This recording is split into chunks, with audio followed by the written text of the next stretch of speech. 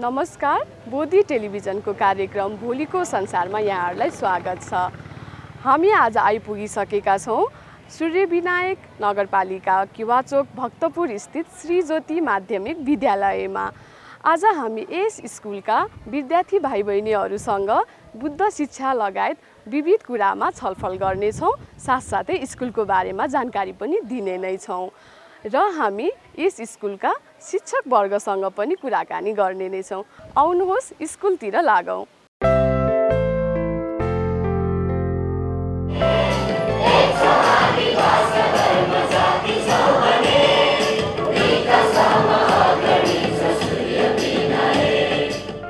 सूर्य विनायक नगरपालिका वडा नम्बर सात गुन्डु भक्तपुरमा अवस्थित श्री ज्योति माध्यमिक विद्यालय विक्रम सम्मत दुई हजार चौवालिस सालमा किवा चोकमा स्थापना भएको हो। विद्यालय भक्तपुरकै उत्कृष्ट विद्यालयमा पढ्नुको कारण चाहिँ यहाँ सिकाइने अतिरिक्त क्रियाकलाप र पठन पाठनको तरिका रहेछ। पाँच सय सतहत्तरजना विद्यार्थी भएको यस विद्यालयमा इसिडीदेखि कक्षा दससम्म पढाइ भइरहेको छ।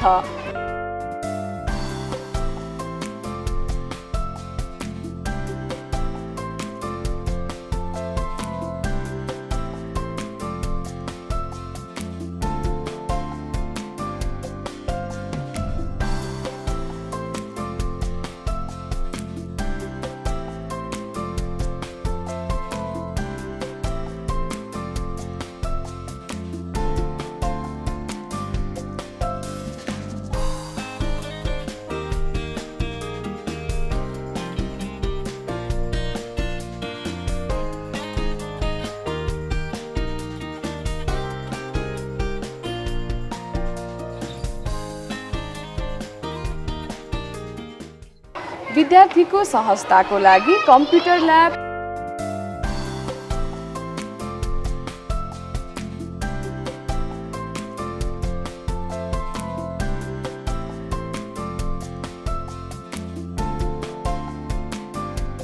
science lab we are going to talk about cell today okay so look at this this is the s- sample of cell which cell is this plant cell and there is another sample of cell you can see. And which cell is this? Animal cell animal cell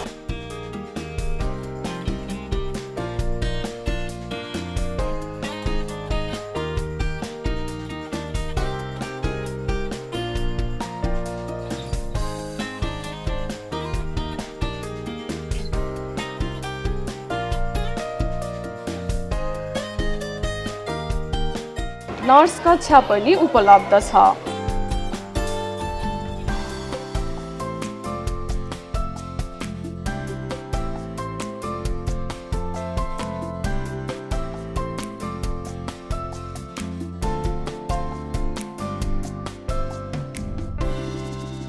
साथै विद्यार्थीहरूको लागि अतिरिक्त क्रियाकलाप पनि हुने भएकाले अतिरिक्त क्रियाकलापमा सङ्गीत नाच र योगा पनि हामीले देख्यौँ।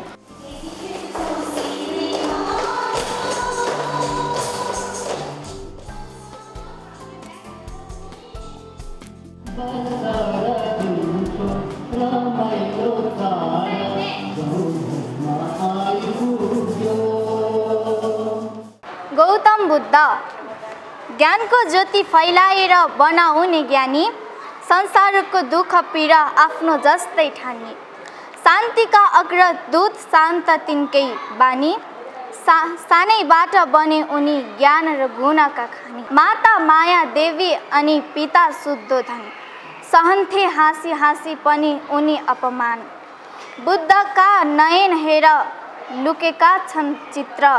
पुरै संसार लुकेका छन् ती नयनभित्र राहुल थिए पुत्र तिनका पत्नी यशोधरा शान्तिको ज्ञान पाई जगत नै हराभरा। लोभ पाप त्यागौँ अब नबनौँ हे दानव। बुद्ध जस्तै हामी पनि बनौँ असल मानव। बुद्ध जस्तै बनौँ हामी पनि असल मानव। धन्यवाद।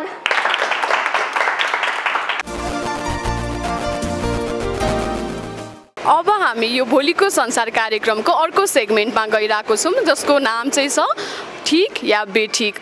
यो सेगमेन्टको लागि हामीसँग कक्षा नौ र दसको भाइ बहिनीहरू रेडी भइसक्नु भएको छ। आउनुहोस् कार्यक्रम सुरु गरौँ। हामी क्वेसन सोध्छौँ दसवटा क्वेसन। जसले दसैँवटा क्वेसनको एन्सर मिलाउनुहुन्छ उहाँलाई हामीले पुरस्कारको पनि व्यवस्था गरेको छौँ। र जसले चाहिँ क्वेसन रङ दिनुहुन्छ एन्सर रङ दिनुहुन्छ उहाँहरूले चाहिँ आफ्नो पोजिसन छोडेर जानुपर्ने हुन्छ है। अनि प्ले कार्ड देखाउँदाखेरि चाहिँ अलि विचार गरेर देखाउनु होला। हुन्छ सुरु गरौँ। पहिलो प्रश्न रहेको छ सिद्धार्थ गौतम बुद्धको मामा घर पनि कपिल वस्तुमै थियो। ठिक देखाउने भाइ बहिनीहरू चाहिँ आफ्नो पोजिसन छोडेर जानु होला। बेठिक देखाउने चाहिँ अलिकति क्लोज भएर बस्दिनु न है। हजुरलाई चाहिँ यो एन्सर चाहिँ हजुरले ठिक देखाउनु भयो बेठिक भनेर।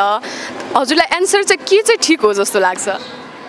किनभनेदेखि सिद्धार्थ गौतम बुद्धको आमा चाहिँ नि आफ्नो माइती जाँदाखेरि चाहिँ बिच बाटोमै लुम्बिनीमा चाहिँ नि सिद्धार्थ गौतम बुद्धको जन्म भएको थियो। त्यही भएर चाहिँ यो प्रश्न उत्तर चाहिँ मलाई बेठी लागेको। हामी अर्को प्रश्नमा जाऊँ है त अब। रेडी हो सबैजना? हुन्छ सिद्धार्थ गौतमको पिताको नाम राजा शुद्धोधन हो। हुन्छ सबैजनाले सही उत्तर दिनुभयो। हामी अर्को प्रश्नमा जाँदैछौँ है। बुद्धको घोडाको नाम कन्थक थियो। सबैजनाले सही उत्तर दिनुभयो अर्को प्रश्नमा जाँदा हुन्छ। प्रवज्या हुनु भनेको भिक्षु हुनु हो। ठिक या बेठिक? ओके बेठिक देखाउने भाइ बहिनीहरू चाहिँ आफ्नो पोजिसन छोडेर जानु होला ठिक देखाउने चाहिँ बस्नु होला हामीसँग आठजना सहभागी हुनुहुन्थ्यो। ठिक या बेठिक सेगमेन्टको लागि। र दुईजना बहिनीहरू चाहिँ यो सेगमेन्टको विजेता हुनुभएको छ जसको लागि चाहिँ हामीले उपहारको व्यवस्था गरेको थियौँ। बुद्ध शिक्षासँग सम्बन्धित हामीसँग यो परियति शिक्षा भन्ने किताब रहेको छ। हामी उहाँहरूलाई दिँदैछौँ।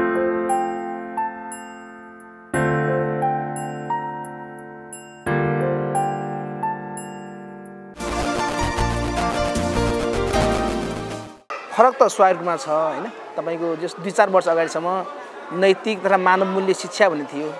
अहिले त्यो हटाएपछि अहिले तपाईँ हामी हेर्न सक्छौँ जहाँ पनि अहिले विभिन्न खालका जुन गतिविधिहरू भइरहेको छ। एक हिसाबले भने सामाजिक विकृति विसङ्गतिहरू फैलिरहेको छ। त्यसले त्यो चाहिँ हुनुको पछाडि चाहिँ नैतिक शिक्षाको अभाव नै जस्तो लाग्छ मलाई चाहिँ। जस्तै पहिला हामी पढ्दाखेरि नैतिक शिक्षाले गर्दाखेरि आफूभन्दा ठुलालाई के गर्ने? आफूभन्दा सानालाई के गर्ने जस्ता कुराहरू हुन्थ्यो। र सँगसँगै अब गौतम बुद्धको कुरा गर्नुहुन्छ भने जुन यो आ, यो महिलाहरूलाई आफूभन्दा साना महिलाहरूलाई बहिनीको नजरले हेर्नु आफूभन्दा ठुलालाई आमाको नजरले हेर्नु यस्ता जुन शिक्षाहरू थियो त्यो नहुँदाखेरि हिजो आज जुन विभिन्न ठाउँमा हामी देख्छौँ यो ग्याङरेपका घटनाहरू वा हत्या हिंसाका घटनाहरू यो सबै नैतिक शिक्षाको अभावकै कारण हो। नैतिक शिक्षा चाहिन्छ नै। अब छुट्टै विषयमा राख्ने वा अर्कोमा गाभेर राख्ने त्यो आफ्नो ठाउँमा होला। अब हाम्रो पूर्वीय दर्शनले चाहिँ धर्म भनेको कर्म भन्छ। आफू जे छ इमान्दारीका साथ काम गर्नु चाहिँ त्यो चाहिँ धर्म हो भन्छ। र बुद्धको शिक्षाले पनि त्यस्तै हामीलाई चाहिँ ज्ञान दिन्छ। र त्यही भएर यो बुद्ध शिक्षा वा कुनै धर्म सर्म भन्दा पनि यो धर्मलाई चाहिँ हामीले एउटा चाहिँ कर्मसँग जोड्ने जुन शिक्षा छ त्यस्तो चाहिँ दिनुपर्छ पाठ्यक्रममा राख्नु पनि पर्छ समावेशन पनि गर्नुपर्छ। र अहिलेको जुन पाठ्यक्रममा राखेको त थोरै त्यो देखाउने मात्र हो क्या खासै चाहिँ छैन। नेपाली समाजलाई देखिरहेका छौँ। यो दस कक्षा पास भएको हुँदैन बाह्र कक्षा पास भएको हुँदैन विदेश गइहाल्छ पैसाको पछि। त्यहाँ पढ्नको लागि भने नाम चाहिँ पढ्नको लागि भन्छन्। तर व्यवहार त पैसाको लागि हो। तर त्यस्तो हुँदै जाने हो भने तपाईँ अहिले हाम्रो हाम्रै नेपालका कतिपय बुढाबुढीहरू छोराछोरी अमेरिकामा यहाँ मर्दाखेरि कोही पनि छैन। जस्तै तपाईँ अस्तिको हाम्रो लकडाउनको बेला पनि कोरोनाको बेला पनि हामीले त्यो देख्यौँ। खोजे हामीले चाहिँ आफ्नो आचरणलाई र अरूले पनि सिक्ने खालको आदर्श व्यक्ति बनौँ असल व्यक्ति बनौँ अनुशासित व्यक्ति बनौँ र गौतम बुद्धै कुरा गर्ने हो भने जुन यो धन मोह यो सबै के हो त ईर्ष्या यो सबै के हो त मान्छेलाई दुःखी बनाउने कारक तत्त्व हो। त्यही भएर चाहिँ हामी चाहिँ असल नागरिक बन्नुपर्छ। हामीले कसरी हुन्छ आफूले सकेको ठाउँबाट चाहिँ अरूलाई पनि अरूले पनि हामीबाट चाहिँ उदाहरण लिन सक्ने खालको चाहिँ हामी त्यसो बन्न सक्यौँ भने चाहिँ मलाई जहाँसम्म लाग्छ हाम्रा भोलिका पुस्ताहरू भोलिको भविष्य चाहिँ सुन्दर हुन्छ राम्रो हुन्छ।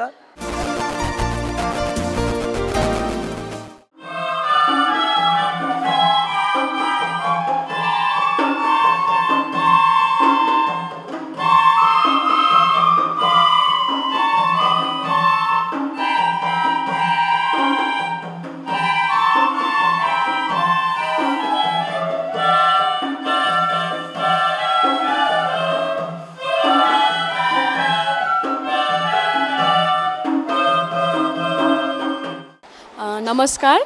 नमस्ते। हजुरको नाम के हो? मेरो नाम रश्मि सेन्चुरी हो।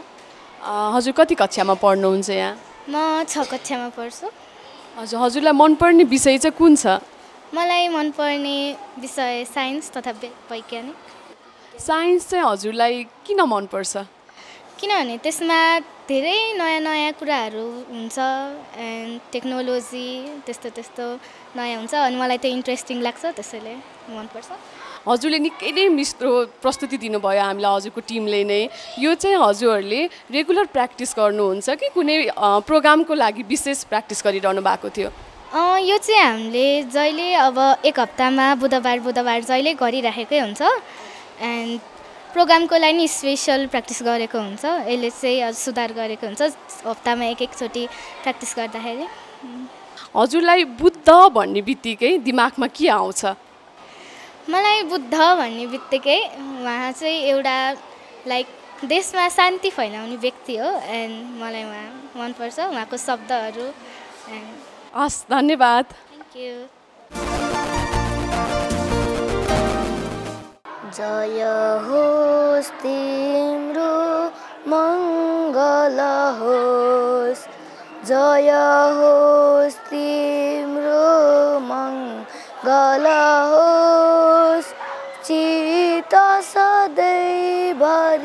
कोमल होस् चित सधैँभरि कोमल होस् जाडो होस् या गर्मी होस् पानी परोस् या आधी चलोस् जाडो होस् या गर्मी होस् पानी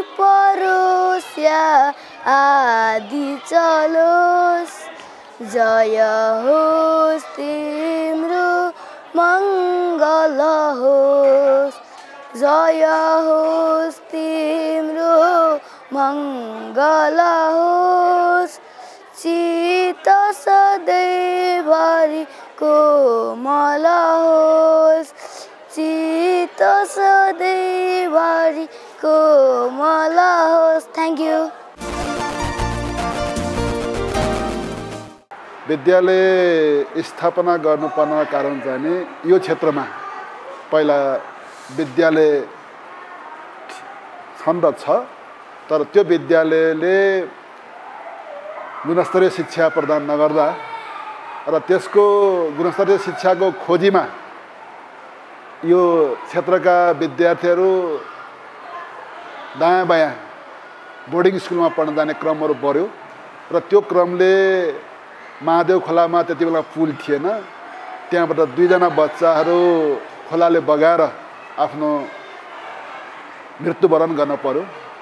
त्यसको लागि हामीले पनि अब यो ठाउँमा राम्रोसँग विद्यार्थीलाई पढाउनु पर्यो भन्ने सोचका साथ विद्यालय हामीले सञ्चालन गऱ्यौँ। हाम्रो ज्योति महावीले अभिभावकलाई विश्वास दिलाउन सफल भएको छौँ।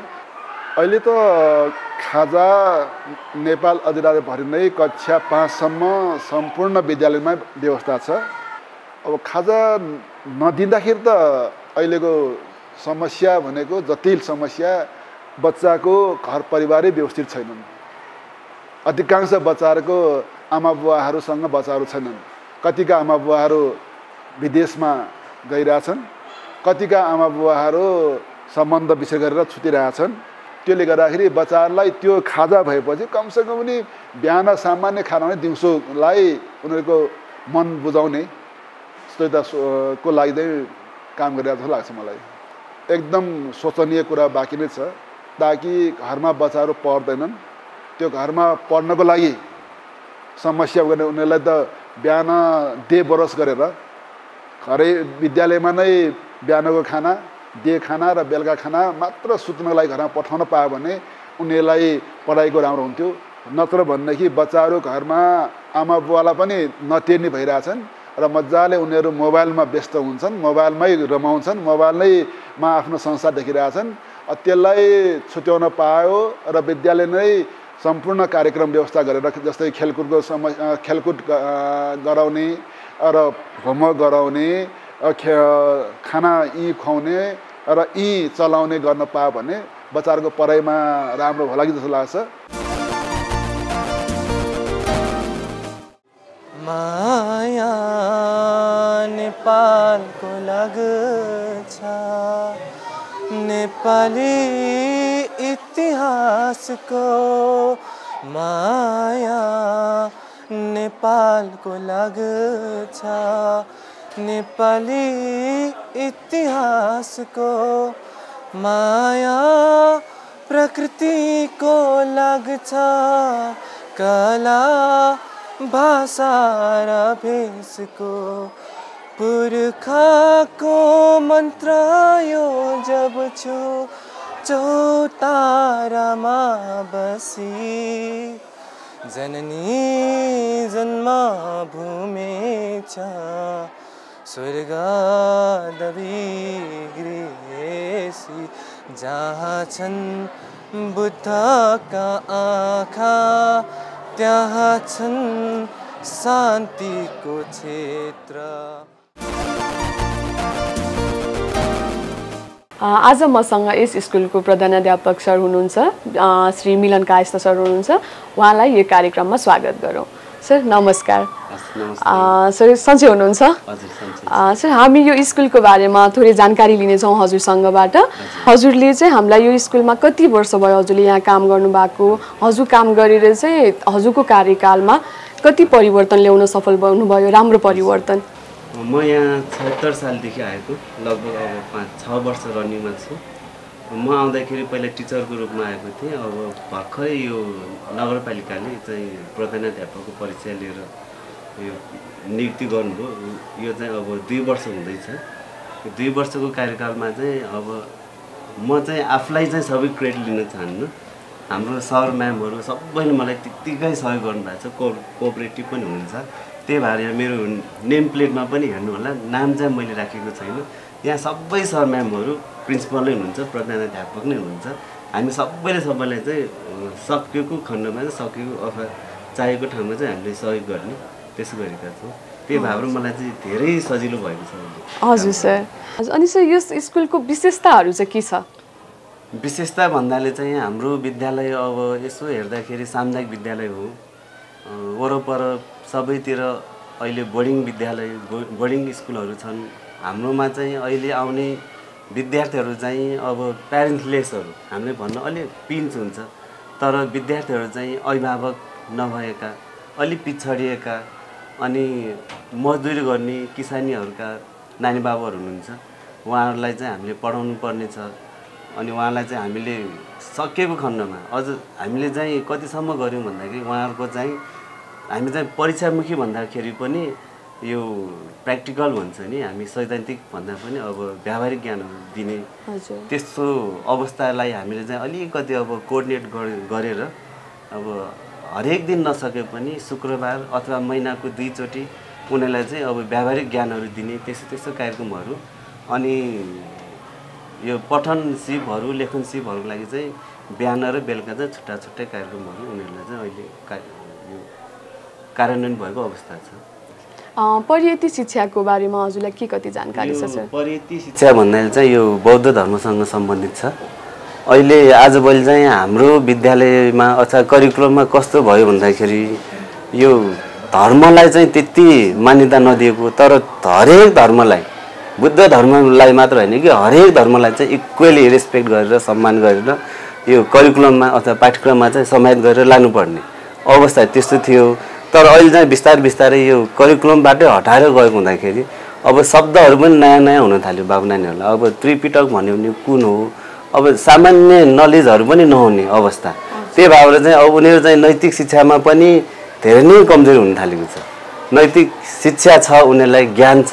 तर मैले यो गर्नुपर्छ यो गर्नु हुँदैन। जब व्यवहारमा आउँछ व्यवहारमा चाहिँ उतार्न सकिरहेको अवस्था छैन। नैतिक शिक्षाको बारेमा चाहिँ हाम्रो यहाँ पढाइ हुन्छ कि हुँदैन? नैतिक शिक्षाको चाहिँ अब अध्ययन कक्षा नै चाहिँ छैन। तर हामीले चाहिँ यो हाम्रो भलन्टियर टिचरहरू आउनुहुन्छ उहाँहरू गेस्ट टिचरहरू कहिलेकाहीँ उहाँले चाहिँ क्लास लिनुहुन्छ र नैतिक शिक्षा के हो? र उनीहरूलाई शिक्षा मात्र होइन कि यो व्यावहारिक ज्ञानहरू र उनीहरू अनुशासित कसरी बस्ने कोसँग कसरी कुरा गर्ने त्यो सबै कन्भर्सेसनहरूको चाहिँ उहाँले क्लास चाहिँ समय समयमा लिनुहुन्छ। अहिलेको हाम्रो यो विद्यार्थीहरूको हेर्दाखेरि जुन अहिले समयमा विद्यार्थीहरू धेरै मोबाइलमा एङ्गेज हुने हुन्छ। होइन अनि एकाग्रता पनि त्यति हामीले पाइरहेको हुँदैनौँ। यो के कारणले गर्दा लाग्छ र अनि नैतिक शिक्षाको महत्त्व कतिको छ? हजुर। एकदमै मिठो प्रश्न सोध्नुभयो। यो अहिलेको बाबु नानीहरू मात्र होइन कि अभिभावक अथवा सबै आम जनसमुदायहरू चाहिँ अहिले चाहिँ बिग्रिएको भन्ने कि अब बिग्रन खोजेको भन्ने कि के भन्ने? मेरो विचारमा चाहिँ यो इलेक्ट्रोनिक ग्याजेट्स भनौँ न यो मोबाइलहरू धेरै चलाउने। अनि उनीहरू मोबाइल मात्र चलाउने होइन कि मोबाइलमा चाहिँ त्यहाँ धेरै किसिमका छन् कि उनीहरू हेर्न हुने हेर्न नहुने। सदुपयोग यदि राम्रोसँग भएको खण्डमा चाहिँ राम्रो हुन्थ्यो। तर उनीहरू बाबु नानीहरूले मोबाइल चलाउँदाखेरि प्यारेन्ट्सको गाइडेन्समा चलाएको भए राम्रो हुन्थ्यो। आजभोलि चाहिँ यो टिकटक भन्यो अथवा रिल्सहरू भन्यो यिनीहरू हेर्छन् दुई मिनट पनि धैर्य छैन। अब धैर्य नहुने अनि उनीहरूले एकैछिनमा कट गरिदिइहाल्ने अथवा स्वाइप गरिदिइहाल्ने। यसमा चाहिँ यो मोबाइल डिभाइस मात्रै नभएर उनीहरूको खानपिनमा पनि लवाई खवाई उनीहरूको घरको संस्कारले पनि म्याटर गर्छ।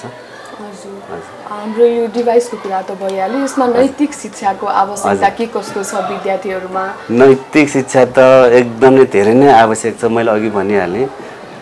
उनीहरूलाई चाहिँ लेख्न लगाउँदा अथवा कुनै कार्यक्रममा उनीहरूलाई बोल्न लगाउँदा लगाउँदाखेरि बोल्छन् उनीहरू। लेख्छन् पनि। तर जब आफूले आफ्नै प्र्याक्टिकल लाइफमा गर्नु खोज्दाखेरि चाहिँ गर्नु उनीहरू गर्नै चाहँदैनन् गर्न सक्दैनन्। उनीहरू चाहिँ कम्युनिकेसन अहिले ग्याप भइरहेको अवस्था छ।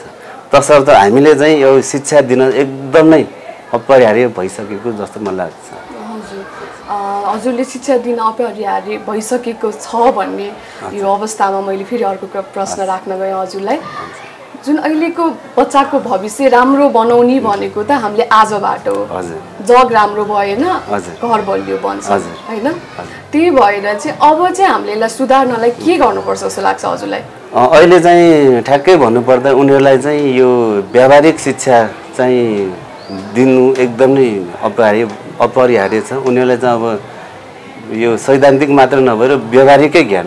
उनीहरूलाई अब जस्तै कसैसँग काहीँ केही गरेर काम गर्नु छ भने त्यही अन द स्पट भन्छ नि हामी। स्थलगत भ्रमण नै गराएर त्यही जुन ठाउँमा जहाँ गर्नुपर्ने उनीहरूलाई त्यहीँ लगेरै चारवटा यो दिवारभित्र मात्रै नराखेर बाहिर नै लगेर बाहिरी वातावरणमा चाहिँ भिजान सक्यो भने एकदमै राम्रो हुन्छ। नभए त हाम्रो अब एक दुई वर्ष नभनौँ दस अथवा पाँच दस वर्ष पछाडि चाहिँ बेकराल अवस्था हुनसक्छ। हजुर। हजुरले हाम्रो यो भोलिको संसार कार्यक्रम मार्फतबाट अभिभावक र विद्यार्थीलाई के सन्देश दिन चाहनुहुन्छ? हजुर। त्यही हाम्रो अब बाबु नानीहरूलाई स्कुलमा मात्रै नपठाएर स्कुलमा चाहिँ उहाँहरू पठाउनुहुन्छ तर उहाँहरू चाहिँ एकदम ढुक्क भएर बस्नुहुन्छ। बाबु नानीहरूलाई व्यावहारिक ज्ञानहरू नैतिक शिक्षाहरू दिनलाई चाहिँ घरबाट पनि तपाईँले संस्कार सिकाउनु भयो भने हामीलाई पनि धेरै नै सहज हुन्छ जस्तो लाग्छ। हजुर हस् सर कार्यक्रममा सहभागी भइदिनु भयो हजुरको स्कुलको बारेमा पनि भनिदिनु भयो हाम्रो भविष्यमा के गर्न सकिन्छ भन्ने कुरा पनि थोरै जानकारी गराइदिनु भयो धन्यवाद सर हस् धन्यवाद म्याम आज हामीले यस श्री ज्योति माध्यमिक विद्यालयको सबै जानकारी पनि दिइसकेका छौँ। यहाँको भाइ बहिनीहरूसँग पनि हामीले कुराकानी गरिसकेका छौँ। उहाँहरूको मिठो मिठो प्रस्तुति पनि हेरिसकेका छौँ र शिक्षक वर्गसँग पनि स्कुलको जानकारी लिइसकेका छौँ। अब म प्रस्तुता अनुप यहाँलाई यस कार्यक्रम भोलिको संसारबाट बिदा दिनुहोस्। यस्तै नयाँ कार्यक्रम लिएर अर्को साता उपस्थित हुने नै छौँ। भगवान् शरणम।